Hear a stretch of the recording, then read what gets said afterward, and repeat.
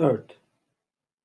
Kare şeklinin gri renk ile işaretlenmiş kenarlarını siyah renk ile boyayın. Gri renk ile işaretlenmiş 8 adet karemiz var. Buradan başlayalım. x3 y4 kare boya x3 y4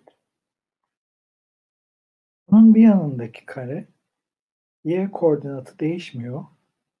x koordinatı 1 arttı.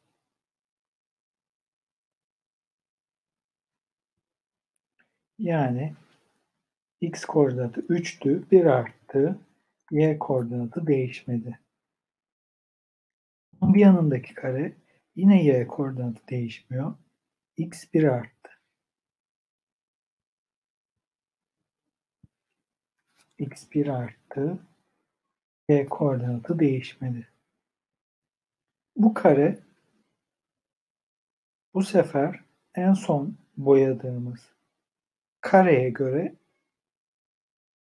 x koordinatı aynı, y koordinatı 1 artmış.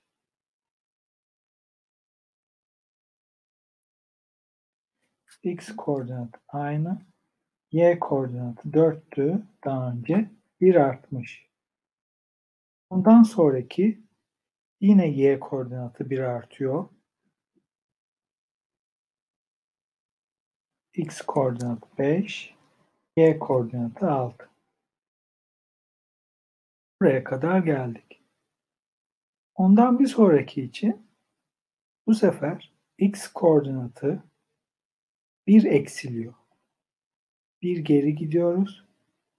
Y koordinatı 6. Yani bir öncekiyle aynı. X koordinatı 1 eksildi. Y koordinatı 6. Bir sonraki kare yine x koordinatı 1 eksiliyor. Y koordinatı aynı kalıyor. 3 6 Kalan son kare ise x koordinatı 3, y koordinatı 5. Yani x koordinatı aynı kalıyor. Y koordinatı 1 eksiliyor. 6'dan 5'e düşüyor.